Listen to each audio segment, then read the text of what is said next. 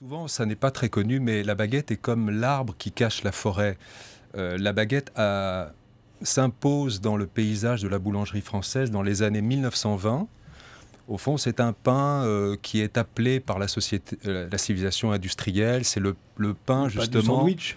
Voilà, c'est un pain qu'on fabrique en, peu de temps, qui va permettre aussi d'accompagner le travailleur sur le lieu de travail, etc. Mais la baguette va cacher l'extraordinaire diversité des pains régionaux euh, qui fait la force de notre, de notre pays. Euh, cette variété régionale qu'on retrouvera en, Allemagne, euh, en Italie, en Espagne. Et tout d'un coup, un, pain va s'imposer jusqu'à cacher toute l'histoire identitaire boulangère française. Donc au fond, la, baguette est très peu française. si on avait à retenir un pain français, on prendrait, comme vous le disiez Frédéric, la grosse miche de pain au levain avec un goût acidulé qui se conserve de deux à trois semaines dans un torchon, et pas du tout ce pain qui est mort en trois heures. Oui, c'est vrai que c'est le pain de trois heures, la baguette.